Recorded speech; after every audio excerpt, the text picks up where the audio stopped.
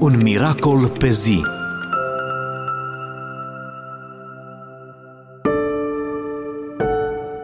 Speranța ta este în Dumnezeu. Uneori ai avut încredere în oameni și ai fost dezamăgit. Alteori, lucruri sau situații au cedat și ai rămas total descoperit. Și au fost momente în care propria ta inimă te-a trădat și ți-ai dat seama că sunt zone în care ești vulnerabil și că nu te poți baza pe tine însuți. Ce înseamnă să îți pui încrederea în Dumnezeu? Domnul Isus spune, despărțiți de mine, nu puteți face nimic. Ioan 15 cu 5. Nu întotdeauna suntem conștienți de limitările noastre, dar uneori Dumnezeu îngăduie să ne descurcăm prin puterile noastre și atunci conștientizăm cât de limitată este credința noastră, cât de slabă este spiritualitatea noastră, cât de vulnerabil și predispuși înspre rău suntem prin natura noastră umană.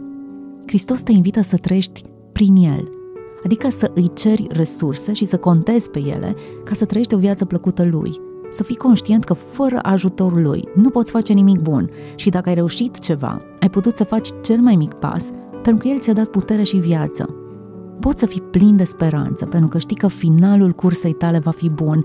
Dumnezeu tot ce începe duce la bun sfârșit. El este mai interesat ca tu să fii mântuit și restaurat decât conștientizezi tu că ai nevoie. Te invit să trăiești în acest loc al încrederii și al odihnei absolute. Domnul va sfârși ce a început pentru tine. Contează pe bunătatea, pe înțelepciunea, pe generozitatea Lui. Te invit să te rogi împreună cu mine. Domne, înțeleg că nu pot nimic fără Tine dar împreună cu tine toate sunt posibile. Mulțumesc pentru această speranță care nu înșeală și pentru încrederea pe care ai construit-o în inima mea. Aleg să trăiesc prin tine. Amin.